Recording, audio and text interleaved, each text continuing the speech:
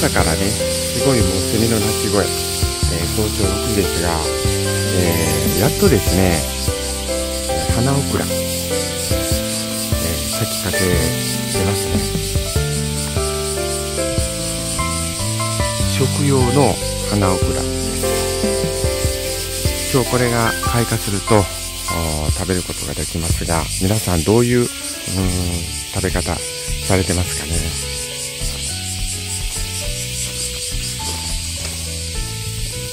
8月の8日です。もうこれから毎日こんな感じで、えー、つぼみがあできてますから、咲いてくれるかなと思っています。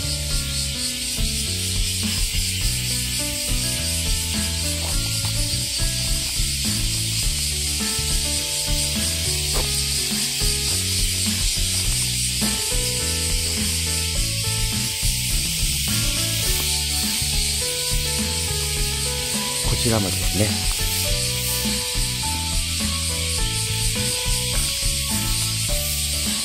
こっちは普通の、えー、一般的なオクラのつぼみです。大きさがね、えー、やはり違いますね。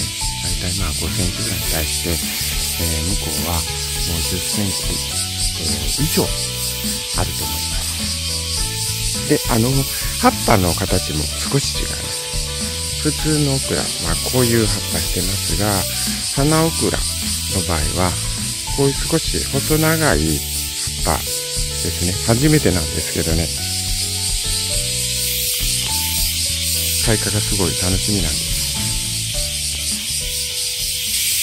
改めまして、えー、おはようございます。え、午前8時、えー、回りました。早朝のね、えー、5時、6時というところの菜園とまた雰囲気が変わってきまして、えー、花オクラですね。え、6時ではつぼみだったんですけれども、こんな風に、え、開花しております。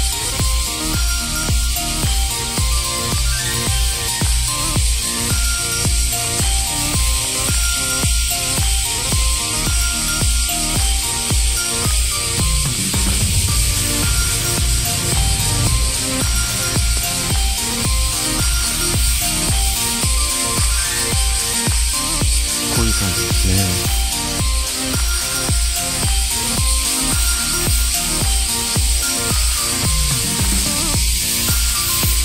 とね今年はトマトが あの雨の、長雨の影響で、完熟なる前に落ちるのもあります。まあ、あの、こうやって晴れたんでね、えー、もうすぐ、うん、もうすぐ。プチトマトはね、えー、先ほど、収穫をしました。朝のうちにね、えー、サークルの方、ですね、こちらの方も、こんな感じです。今から収穫をして、えー、この中心の部分をカットすると2、3日、えー、冷蔵庫で、えー、保てるそうです。今日はね、えー、朝から毎日このところずっと草引きなんですが、えー、いちごの、小芋と、えいちごの枠を、区画をきちんとする作業を、していました。まあ、ちょっと通路の方も通りやすく、なりましてですね、えー、歩きやすくなったように思います。まあ、かなりあの、夏は草が生えますのでね、えー、すっきりと、えー、材の置き場の部分と、えー、この辺りがもううそうとしてきましたが、雪の下ですね、こちらも大きい葉っぱの方をカットして、えー、縁を取っていくようにしています。まあ、今から真夏ですのでね、8時から9時の間に一気に30度ぐらいまで気温が上がってきますので、えー、まあ今はセリなんですけれども、まあもっと今から暑くなるんで、それまでの間にね、えー、畑作業を、菜園作業を終了いたしました。まあ、これを今からカットして朝ごはんということにしたいと思います。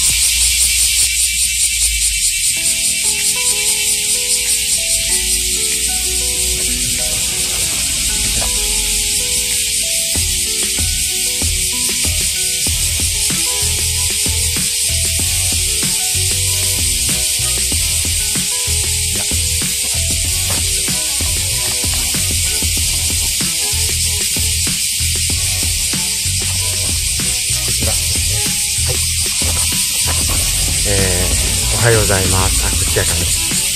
こんな感じですね。で、あのー、アリがね、すぐに入ってくるので、早めに取るということと、ここの部分ですね。ここを切らないと閉じてしまうらしいんですね。で、わかりやすいので、ハサミで切ります。はい、えー、こんな感じ。これが、えー、なくって、この状態だとパッと開いた状態で、よくあのー、道の駅とかそういうところで販売して、えー、金本も去年、えー、っと、岡山に旅行、旅行というかドライブに行った時にですね、えー、道の駅に、えー、こうやって、えー、2つ、パックに入ってね、えー、パック、うん、透明のセロファンが、ラップがかかってあって、えー、200円。だったかな。うん。という感じ。えー、っと、これをね、えー、ご存知の方もいらっしゃると思うんですが、えー、ようやく、これどうやって食べたらいいですか？今日の、うん、朝、朝に、で、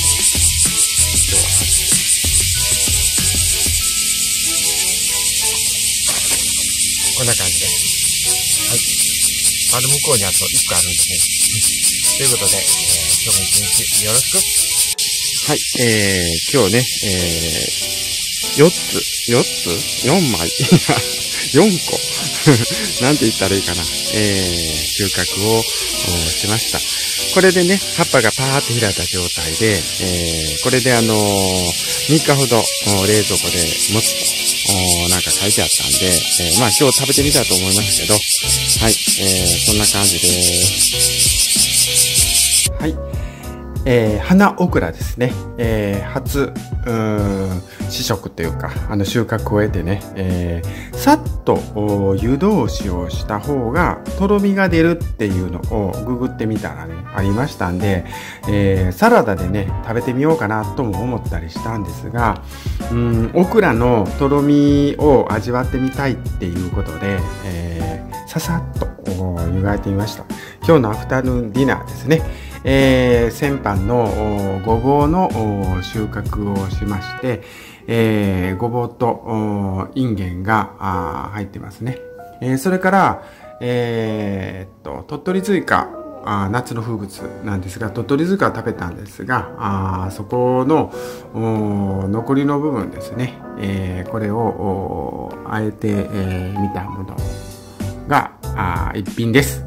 で、えー、金粉好きな冷ややっこ、えー、ワイフ、嫁さんの方は、えー、絹豆腐とね、えー、少し違います。